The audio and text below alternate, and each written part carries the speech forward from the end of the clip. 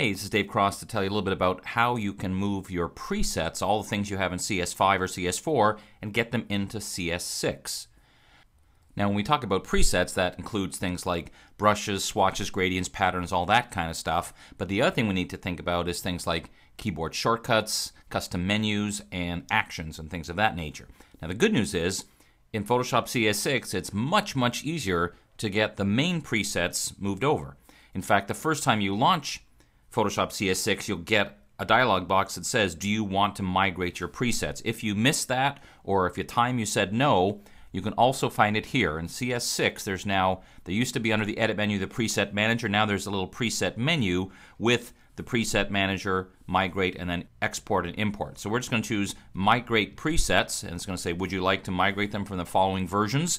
And it'll look and see whatever's on your hard drive. In this case, I only have Photoshop CS5, so I choose Yes it says it's done. So that's it. Now if I go to the preset manager, I should see that at the bottom of the menu, here are the brush presets that I had in CS5 that have now been loaded in automatically. So again, that's, it's fantastic that you can now move all those presets automatically because in the past you had to do it manually. Unfortunately, we still have to do a manual process with some other things. So in CS5, or if you're using CS4, if you have actions, you have to go to your actions, click on a set, and then choose Save Actions.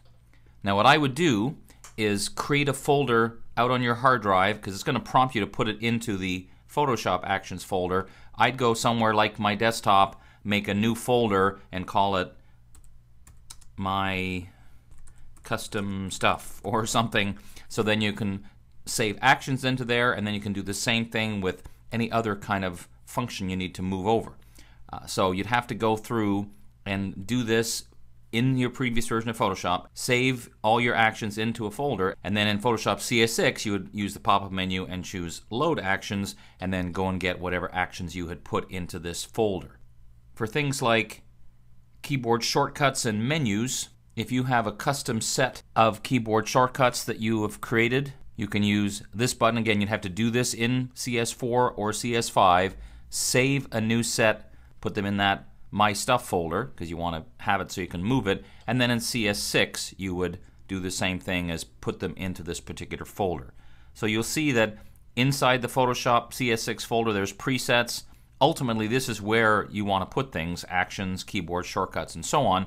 And the bottom line is when you do that, then they'll automatically appear. So in summary, the main presets, brushes, swatches, patterns, all that kind of stuff, easy to do now because of Migrate.